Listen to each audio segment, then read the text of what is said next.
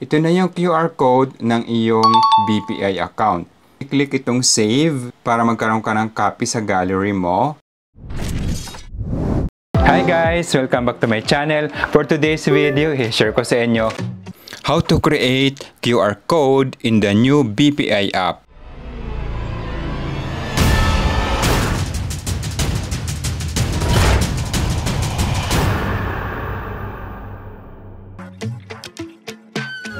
Before we continue guys, if hindi ka pa nakasubscribe sa channel ko, please consider subscribing and pakiclick na din ang bell notification para updated kayo sa next uploads ko. Okay?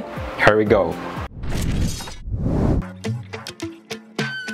Mag-login ka lang sa BPI app mo, then tap Settings sa upper right. Scroll up, Sa pilot run ng new BPI app, hindi pa available itong QR generator within the app. Kailangan mo pang pumunta sa website. But this time, available na. Then, click QR generator. Select your account na gusto mong gawa ng QR code. Type your nickname without space.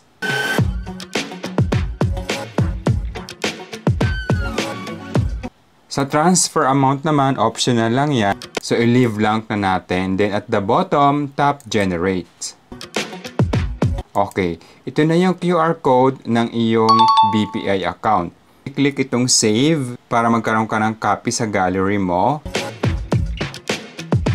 You can also click the share icon sa top right. Pwede mong isend sa contacts mo for easy fund transfer sa iyong account. Okay guys, I hope that you enjoyed or learned something from this video. See you next time. Bye!